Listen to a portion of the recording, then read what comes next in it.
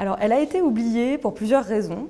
Euh, d'abord, peut-être des raisons conscientes, euh, dans le sens où, euh, à la mort d'Henri IV, elle a très vite été accusée d'avoir plus ou moins pris part à l'assassinat. Et donc, dès lors que cette hypothèse a été écartée, on a préféré l'oublier, d'autant qu'elle-même s'est mise à l'écart, pour des raisons évidentes, hein, puisqu'elle n'avait plus de protecteur. elle a tout simplement pris la décision de vivre sa vie, qui a duré longtemps d'ailleurs. Euh, et puis peut-être aussi des raisons inconscientes, puisque justement, une femme non conventionnelle sous l'Ancien Régime, euh, disons que c'est euh, toujours un objet polémique qui va susciter des réactions de la part des contemporains, et qui sont pour la plupart des hommes en plus, des hommes mariés, donc qui, disons, n'acceptent pas ce modèle féminin-là. et dans le cas de la marquise de Verneuil, c'est encore plus frappant puisqu'elle reste célibataire, ce qui est rarement le cas des maîtresses royales. Beaucoup d'entre elles sont mariées. Donc elle reste célibataire toute sa vie, elle a néanmoins deux enfants avec Henri IV. En plus de cela, elle a un caractère très affirmé, donc ce qui n'est pas non plus pour plaire euh, à ses contemporains. Donc voilà, des raisons, on va dire, liées à sa personnalité, liées à ses actions, et puis liées aussi aux accusations qui l'ont entachée. Alors effectivement, euh, c'est vrai que j'ai vraiment souhaité m'arrêter sur cette période de sa vie qui est finalement plus longue que celle de la faveur, puisque la faveur c'est environ 10 ans. La période postérieure, on parle de 23 ans, donc c'est quand même deux fois plus long.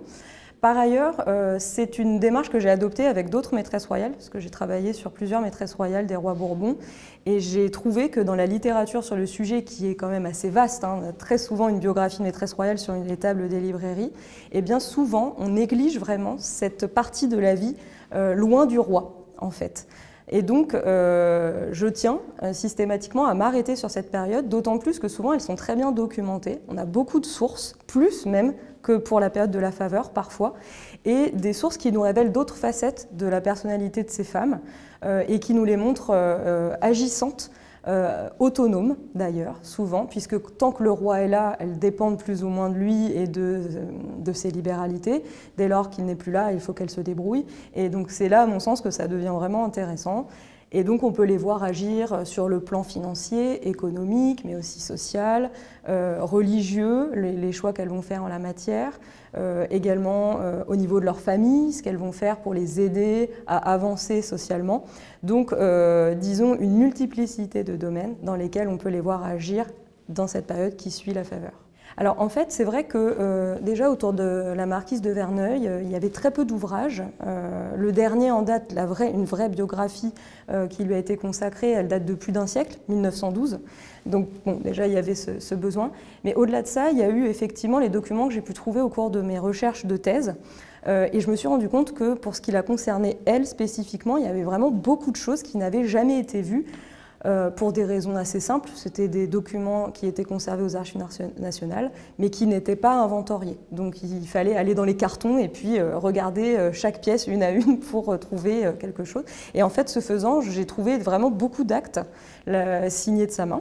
Et, et c'était particulièrement intéressant parce qu'on la voyait notamment agir dans des domaines où on ne l'aurait pas forcément attendu. Je pense par exemple à la course maritime, elle a financé un navire à La Rochelle euh, pour se lancer euh, dans bah, ce qu'on appelle euh, aujourd'hui les corsaires, en fait, hein, tout simplement, en 1608. Donc c'est quelque chose qu'on n'attend pas forcément d'une dame de la cour d'Henri IV. donc ça m'a surpris et voilà, au fur et à mesure, comme ça, j'ai réussi à accumuler un certain nombre de documents qui nous la montrent sous un jour différent et sous un jour aussi peut-être sous un jour un peu négatif, un peu polémique dans le sens où c'est une figure qui est assez explosive et donc euh, il y a beaucoup de sources qui concernent aussi les conflits qu'elle a pu avoir avec les uns et les autres, avec ses administrés, avec ses agents, avec d'autres membres de la cour. Et donc ça me paraissait intéressant d'insister aussi sur ce point et de montrer que c'était quand même euh, une femme avec beaucoup de caractère, beaucoup de vivacité et aussi beaucoup d'intelligence économique.